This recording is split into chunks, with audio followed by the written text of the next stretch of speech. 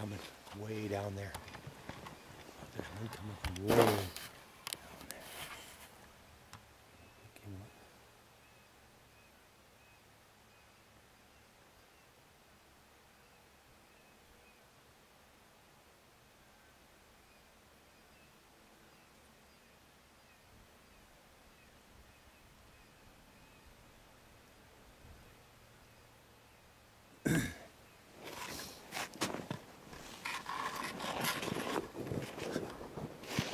It's coming fast.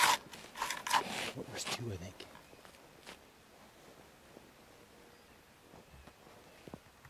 Yeah, two.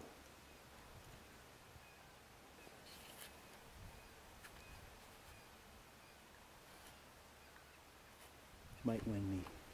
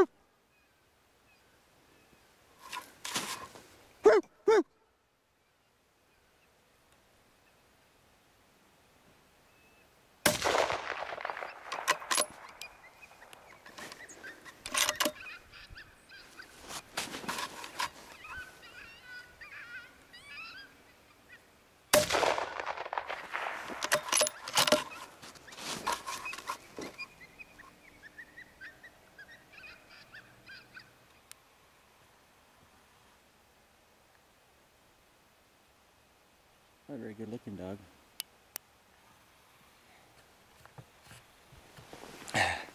Had those two come in on a rope. They come from a long ways, way, way down the river. Let's sit tight here for a bit and see what happens. The second one I missed him, but we'll see what happens. We'll just wait a bit. There he is. Good size. Stoned him right on the spot. He's not mangy. He's got full fur. He's burred up though.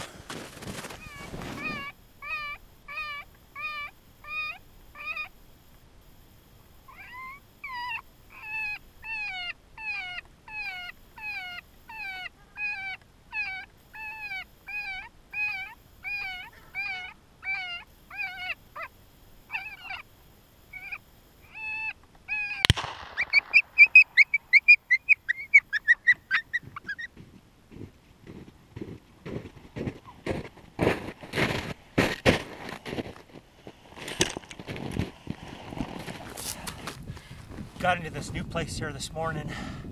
Had a crosswind. It was a little bit out of the south. I was kind of worried, but just checked on uh, Google Maps again to see, make sure the wind is going the right way. There's one little bush up to my right, kind of behind me. I thought they won't be in there. I was hoping they wouldn't be in there, but anyways, I turned the caller on and uh, this female and the male, they come burning out far, far, like it was really far away. And uh, I didn't have that loud or anything. And uh, they come, she come right downwind of it, but I thought she might pick me up, but I think the male might have got a little nervous with me, but she just come booting right across the field, right into about 30 yards. I wasn't ready to shoot, just try to get her on vid too. So then uh, she run at the decoy, stopped for a few seconds. I went to go shoot. She took off, so I wolfed at her a few times, stopped her, dropped her. Then the other one took off towards the river again and uh, let a shot go at him, missed him. He took off in there and then he come back out and I was trying to get him to come back out. And so I sat for about five minutes, 10 minutes and sure enough he come back out but the next field over. And uh, I thought he went across into that bush that where I didn't think they would be.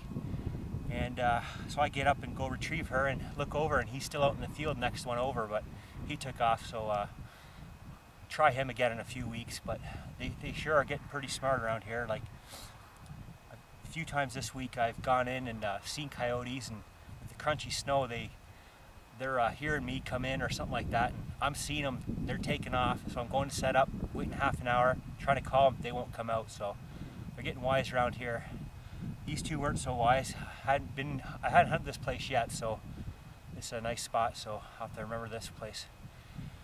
Yeah, she's a big female, kind of rough looking coat, all matted up, but just from the burrs and that. So take her over to the trapper and give him to her, him, and uh, I'll keep hunting this morning.